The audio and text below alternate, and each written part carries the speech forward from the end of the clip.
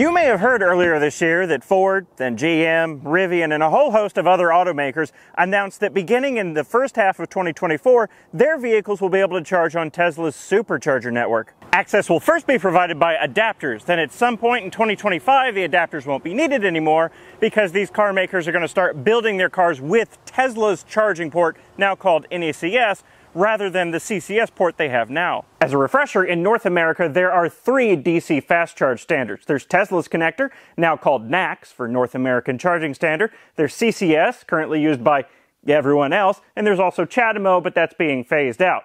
In the future, the automakers that have announced the switch will be switching their cars from the CCS port to the NACS port on their upcoming vehicles, effectively making it the new North American charging standard which is the epitome of manifesting. These automakers working with Tesla so their cars, like my Polestar, will be able to access Tesla's supercharger network is a big deal. If you've never taken a road trip in an EV, or you have, but it was in a Tesla, you might think, why does this matter?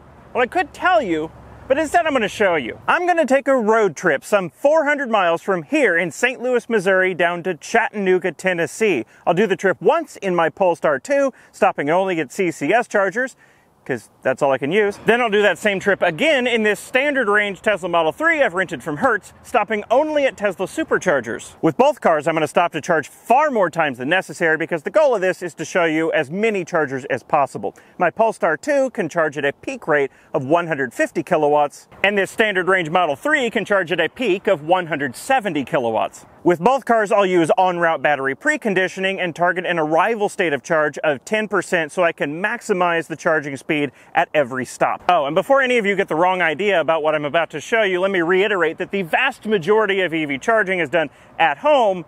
This is just for trips. Anyway, let's, let's begin. begin.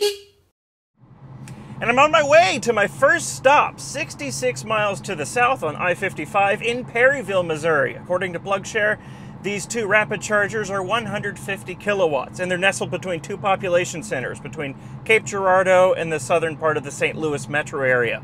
So it's in a good place. In the Tesla, it's raining quite a lot.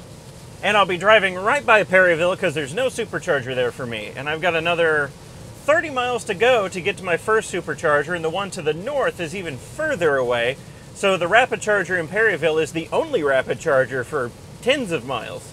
All right, I didn't quite make it here down to 10%. I only made it down to 16%. Turn right but onto Jefferson Street. You interrupted me. But it shouldn't matter. That's still low enough to get peak speed. And it's at a hotel. First Demerit. That's a terrible place to put a rapid charger. Feet, your destination will be on the right. You interrupted me again. What are you going to do at a hotel for 30 minutes? Aside from that thing. There's a perfectly good gas station across the street. You could have put the chargers there. All right, first off, seems like a good one. These are two 150 kilowatt chargers right off the interstate, and they're from Francis Energy, which you probably haven't heard of unless you're from Oklahoma. If being at a hotel wasn't bad enough, these are also really hard to activate. There's no credit card reader on them, first of all. There is a symbol for the tap to pay, but it doesn't accept credit cards, so I don't really know what that is. You have to have the Francis Energy app to activate these chargers, and the app does not work on any other charging network. I've got it here says right in the app 150 kilowatts. I know that's a lie because this is a 200 amp cable. Okay, I should explain that. Power in watts is just volts times amps. One kilowatt is just a thousand watts. My Polestar's battery has a voltage of about 400 volts. Because of that cable's limitation of 200 amps, I can only get 200 times 400 80 kilowatts out of that charger. In order to actually get 150 kilowatts out of that charger with its 200 amp limitation, my car's battery would have to have a voltage of at least 750 volts.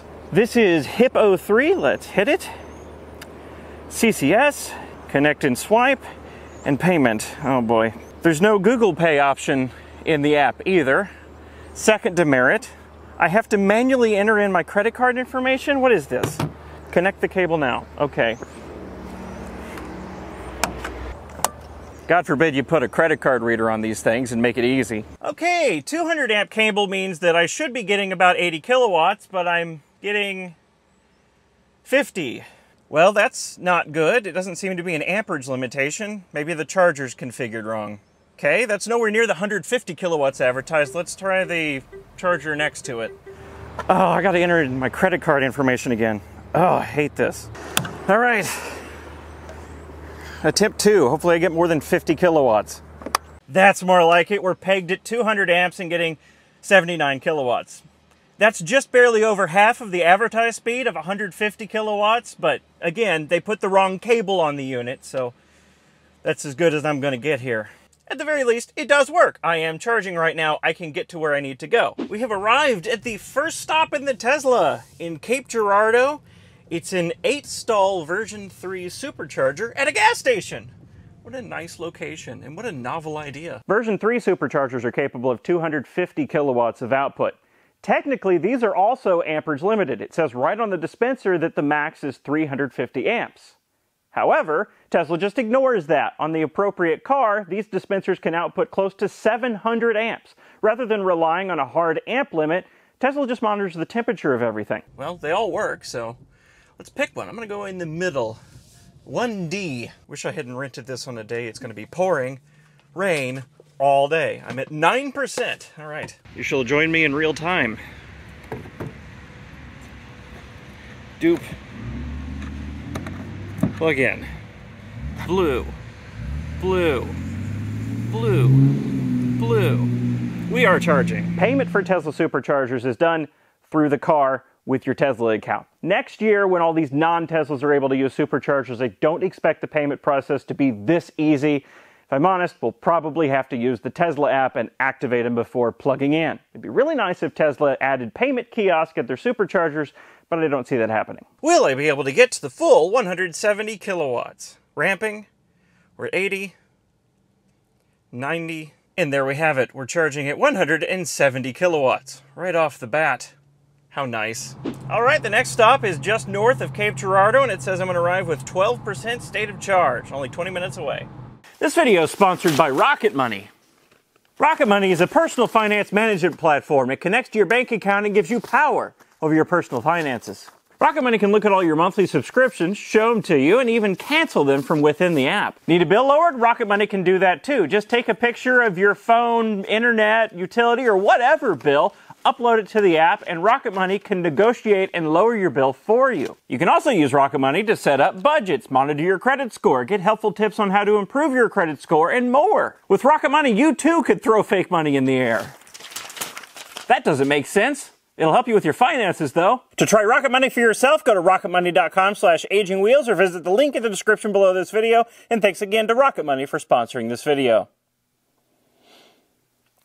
It's uh, hard to see. Here's the next stop. It's on the other side of the parking lot from the supercharger.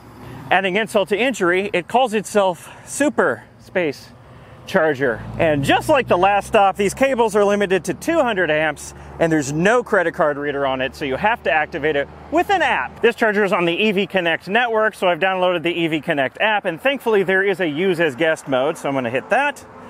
There's a QR code, and yep, scan that. Scanned rather quickly. It says it's 120 kilowatts, which we both know is a lie. I'll get 80 kilowatts out of this if I'm lucky. Connector 1 and 2. These are not labeled. I guess I'll guess. Uh, connector 1. Begin charge. How do I pay for this? I could enter a credit card, but thankfully this one has a Google Pay and a PayPal option, so I don't have to manually enter in a credit card number. All right, I heard a ka-chunk in the charger. Let's go ahead and plug in. Is it gonna work? It says to plug in. Okay, did I hit the wrong connector? Okay, let's try the other one. Maybe this one is connector one. Oh, that is. This is a thick cable, holy crap. Well, the app went back to the previous screen. Is it doing anything? It's charging! Well, that was painful. Are we at least getting the full 200? no, no, we're not. It's at 60 kilowatts. Is this charger configured wrong as well? Because that doesn't seem like an amperage limitation. It's just sitting at 60 kilowatts. Whatever, there's another charger just down the road. We'll unplug and try that one. Just down the street is an identical unit at the same chain of gas stations. At least it's at a gas station and just down the road. The cable management on this one appears to be broken, but that's okay. Still unlabeled, I don't know which one is connector one, but learning from the last one, I'm gonna assume this is connector one. We're gonna go ahead and activate it and see if we get more than 60 kilowatts out of it. This handshake process is unbelievably long. There we go, it's charging. Okay, it's going. Oh my god. That's not 60 kilowatts. This one's pulling 30. What is. What the hell? All right.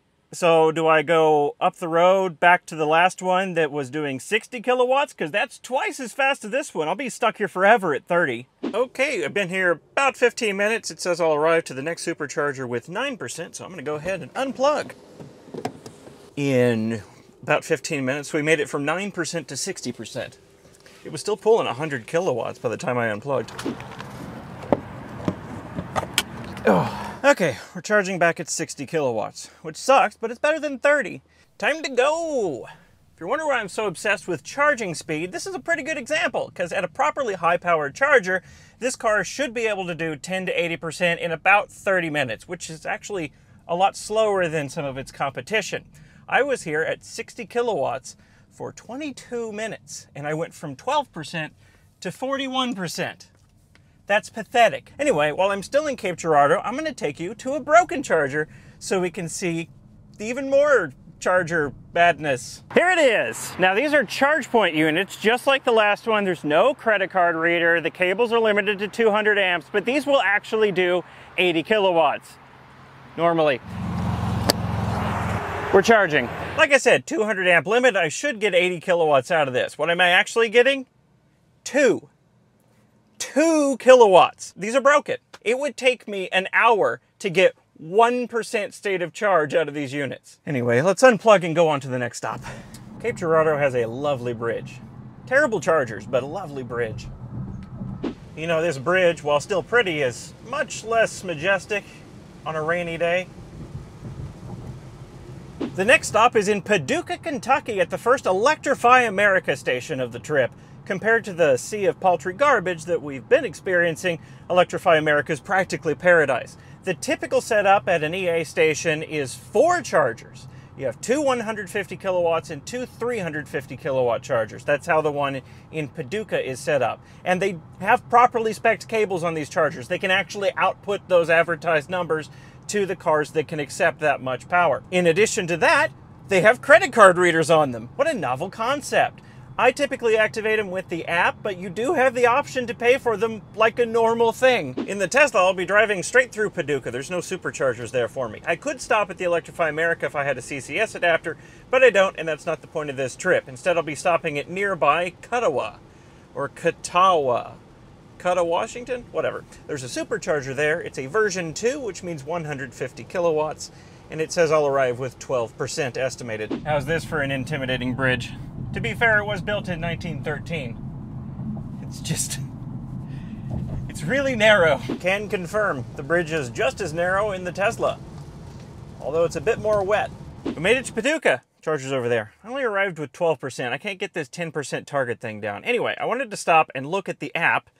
And according to the app, Charger 1 is in use, which, yes, there's a Volvo charging there. Charger 2 is not available. Charger 3 is available, but the app says it's at 50 kilowatts, which is code for it's derated, and number 4 says it's at 150 kilowatts. So we're going to plug into number 4. Like I said, these have credit card readers on them, but I get free charging. So I'm going to activate it here and then get out and plug in, and I'll report to back to you. Report to back to you what charge I'm. So if I was paying attention, I would have noticed that errored immediately. So let's try that again. Still says initiated. Oh, it's going. Good. Let's watch it ramp up. I should get, I'm at 12%, I should get 150 kilowatts from this 150 kilowatt charger. I have low hopes. Guess what? 78 kilowatts. This charger is limited to 200 amps as well. Great. Well, that one works, so I'm going to plug into that. In the app, it said 50 kilowatts is what this charger puts out. It's in free mode. So already the one that was listed as derated in the app is faster than the one that was listed as full power.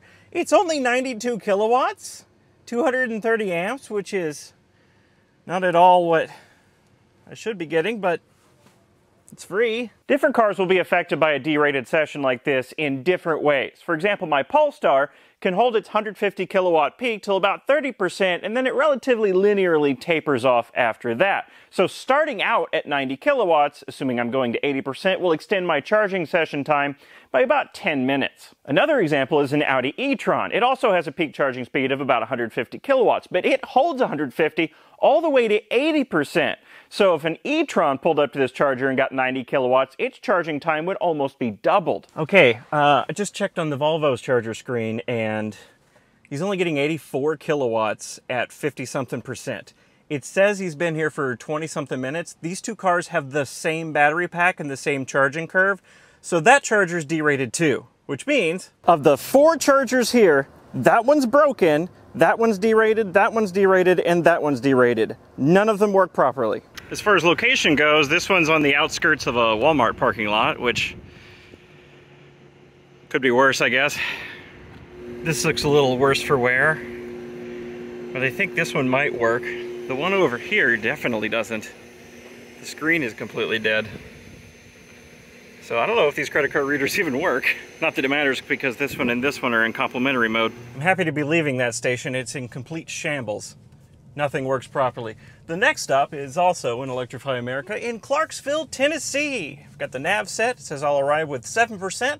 I'm gonna go get food first because I'm hungry. Well, I said Kuttawa was nearby, but I'm in Paducah now and I've still got 32 miles to go before I reach the supercharger, so it's not super close. We are in Kuttawa. This is a version 2 150 kilowatt supercharger. It's worth noting that the NACS compatible cars will not be able to charge at this supercharger.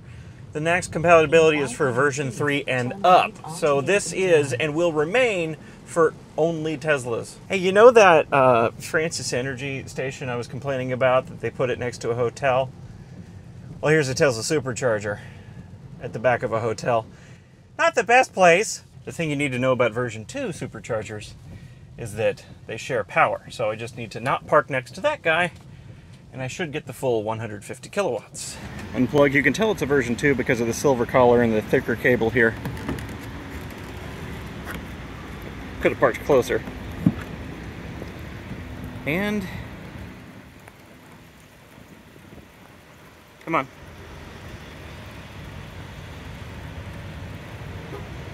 Come on. Car locked. Green. I should get 150 kilowatts. Will I? There's 113, 124, 147.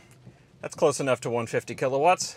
We've made it to Clarksville, Tennessee, and it looks like the second Electrify America is also at the edge of a Walmart parking lot. Again, I guess it could be worse. Okay, according to the Electrify America app, chargers number two and three are in use. And of course, the Bolt is taking the good 350 kilowatt charger because they don't know any better. So I guess I'll take number four at 150 kilowatts. Oh, this one's in complimentary mode. Turns out every Electrify America I stopped at on that day was in complimentary session mode. The only one that was listed as derated in the app is that one right there. This one is in complimentary mode, but it's a should be able to give me the one full 150 kilowatts. I almost guarantee it won't. Oh, okay. Well, it looks like 86 kilowatts is where it's going to stop. The bolt's gone. I can take the 350. Let's unplug from here. Welcome to the Electrify America Charger Shuffle. Remember, this one is the 350 kilowatt unit. It is not listed in the app as derated. This one is also in complementary mode. Yay for me! How was Electrify America making money? A miracle has happened! That's what I'm talking about. That's the kind of performance that I should get at every one of them. 150 kilowatts. See, I wasn't lying. So, second attempt at the second Electrify America, I finally find a full power charging station. Oh, I don't have to be here very long. Next stop, Nashville. All right, just eight minutes of charging later and we're ready to go. That station is also in shambles, but at least I got full power from one of the sites, so that's good. I am now driving past Clarksville, Tennessee. I'm not stopping here because there's no supercharger. In fact, there's no supercharger for 50 miles in either direction. That Electrify America is the only high power charging station for about 50 miles in either direction. I'm in North Nashville now, quite far off the beaten path. I think I'm like three miles off of the interstate that I was traveling on. and I'm going to an EVgo. This site, from memory, has a 350 and two 100 kilowatt units, and all three of those have two cords that can charge cars simultaneously. Oh, there's a Polestar! It's a Polestar friend! Hello! Oh, good. I can pull up next to the Mach-E and charge on the 350 kilowatt charger. This will be shared power, so I don't expect to get the full 150 kilowatts, but I I don't know. We'll see what I get. I'm going to use the credit card this time. I'm not going to activate it with a stinking app. I think I tried five different times to get my credit card to work and it just wouldn't. It said authorization failed and then the next card I tried it just didn't show anything. I activated it with the ChargePoint app, so I'm glad I have that. Now, generally I like EVgo, but their handshake times are insanely long. Ah, all right. Looks like, since I'm sharing power with the car next to me, it's going to stop at 200 amps. How familiar is that? I'm going to charge up a little bit here, and then we're going to go to the Electrify America in Nashville. Update from the Model 3 in Nashville. It is raining during rush hour. I'm stuck in traffic and I'm bored. But at least there's some aluminum next to me. In Nashville, there are a few superchargers to choose from. I didn't want to just stop at one, so this one is deviation from my path, about eh, a couple miles off of it. It is right off the interstate, but not the interstate that we were driving on. You're rude. This one is a version 3 with 12 stalls to choose from, and it's in a parking garage. Whatever. Oh, it's in the back of a hotel. Stop putting rapid chargers in hotels. Ah, there they are. Why? What? You, Mercedes EQS. You are just parked there blocking a supercharger. I'm going to park next to this jerk EQS. This is 1C of 12 to choose from.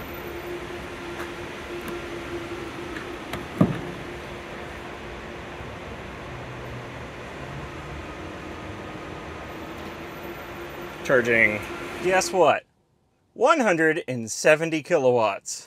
We are now leaving the EVgo. I needed to charge there for like two minutes to get to the Electrify America, which is only 11 miles away, but it's going to take me 30 minutes to get there because I arrived during rush hour in Nashville. So, yay. Nashville seems a little tragically underserved in terms of EV chargers because this one's out in the out here in the middle of nowhere and uh, it's kind of full. So and the station is, oh, there, in the corner of the parking lot. Well, they really shoved it out of view, didn't they? Oh, it, oh no, it looks full. Okay, there are eight stalls back there. It does not look completely full, so let's see what the app says. Full. Okay. All chargers in use. It says that eight, two, and three are all broken. So if those worked, there would be three three chargers available. You know what? While we're waiting, let's go look at the Tesla supercharger, which is on the other side of the parking lot. Well, first thing I see is that those Tesla chargers are empty. And there's far more than eight there. How many are there? Like 20 of them? Good God, it just keeps going. I have an exciting development. We've encountered the first supercharger of the trip with an out of order stall. Number 2C doesn't work. Good thing I have 23 other stalls to choose from. Again, if these three broken chargers worked, this station wouldn't be full. Should I be this weirdo over here in the corner? Should I pull through one of these spots? Maybe one over here. So many options. It's almost like Tesla anticipated the demand that they would have. We have an update. I was just researching whether or not I could make it to the other Electrify America, and the lady in the Bolt is unplugging right now. Will I get there first, or will it be the ID4? We shall see. It's a race. Let's do one of these. Nope. Nope, these are where the uh, introverts park. Let's go. But there's just too many options, frankly. I've spoiled for choice. Okay, they're not going for it. I'm going for it. That one over there is completely off. I plugged in. It's in complimentary session mode. Uh, let's just wait for it to start charging.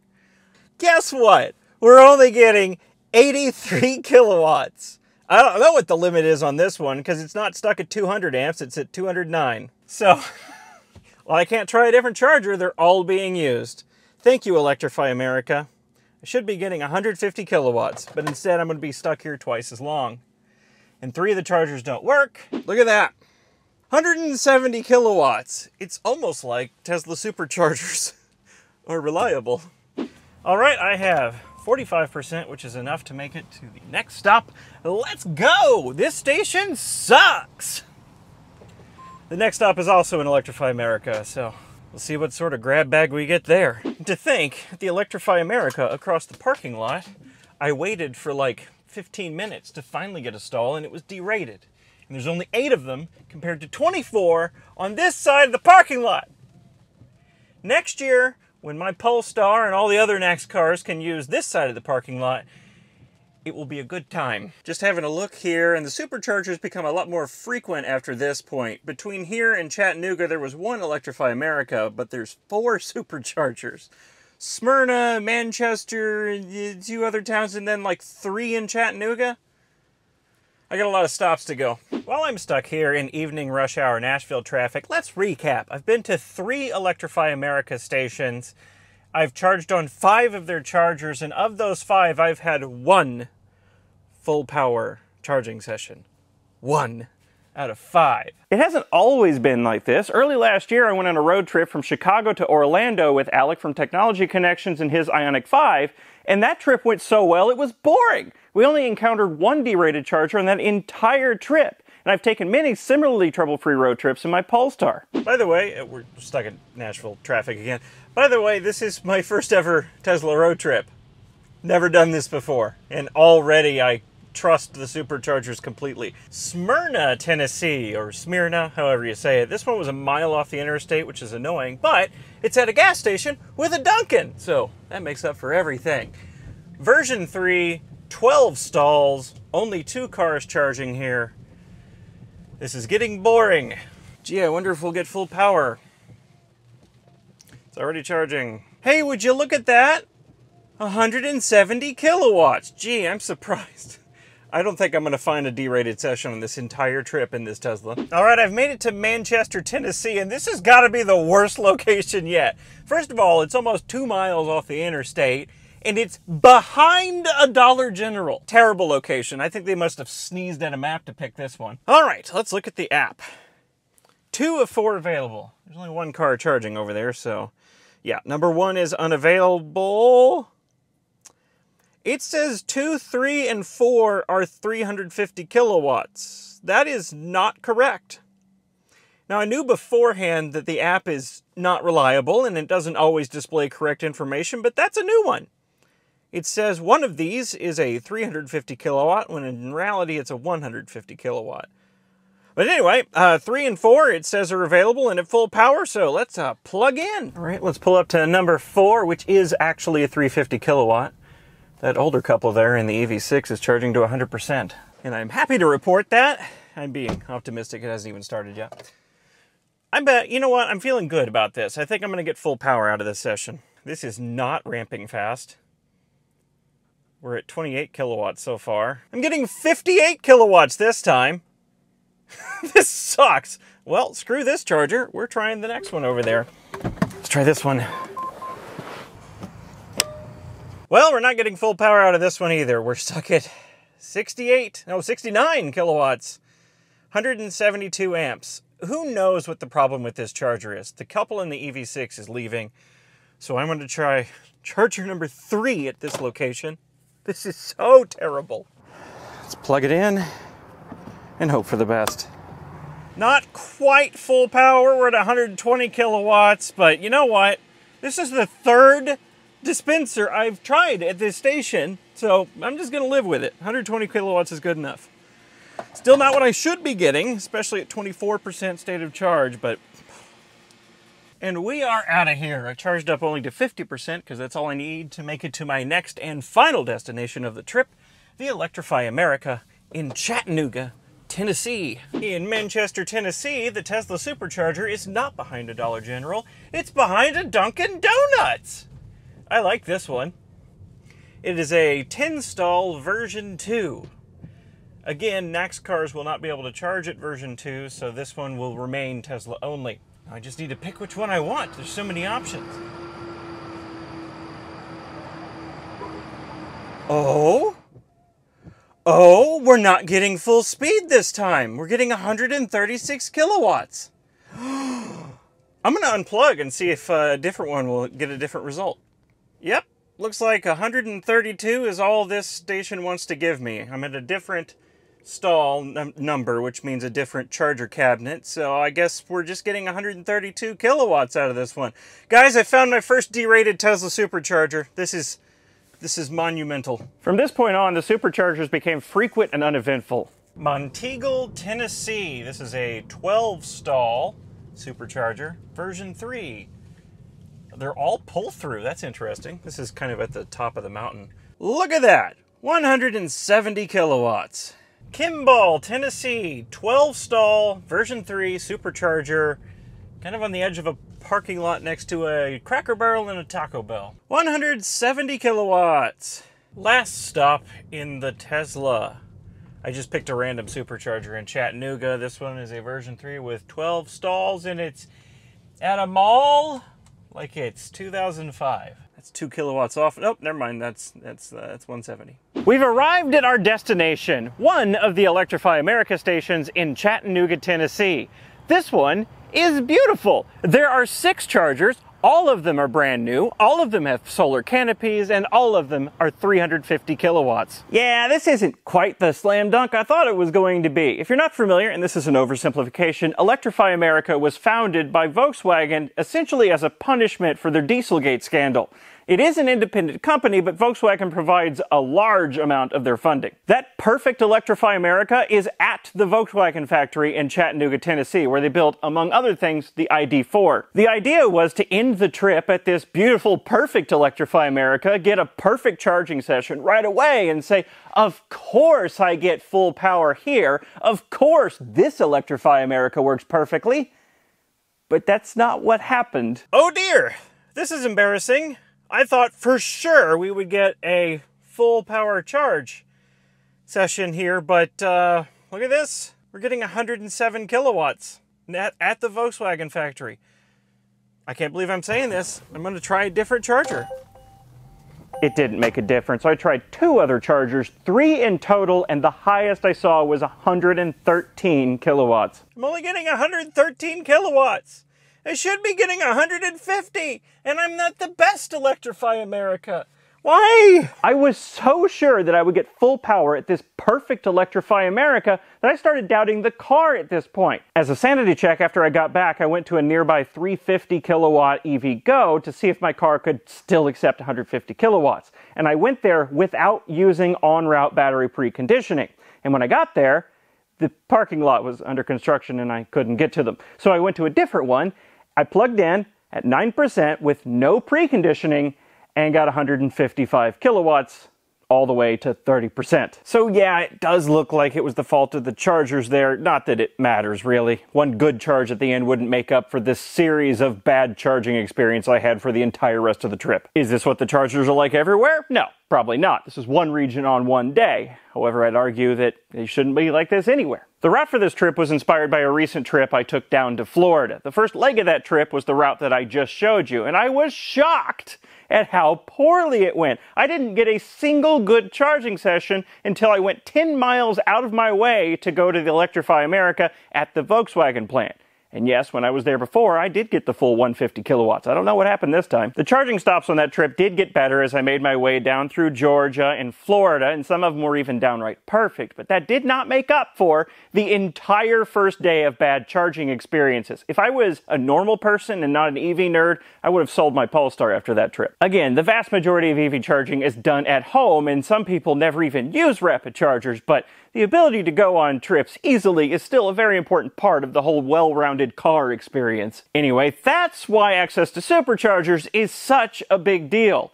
Currently, Electrify America is the only other charging network out there with highway planning and they're unreliable. And most everything else is poorly set up, confusing, unreliable, or just not a good experience. Now, that's not to say the supercharger experience will be perfect with all these non Teslas using them. There's two big issues of note. They were designed with Teslas in mind, which all have a charge point in the rear left. So, with a charge point in any other place on the car, the cable's too short and the charger's in the wrong place. And I think more importantly, superchargers can only output 500 volts. So 800 volt cars, to charge at these superchargers, have to use an onboard booster to boost that DC voltage to something they can use, which dramatically limits the power.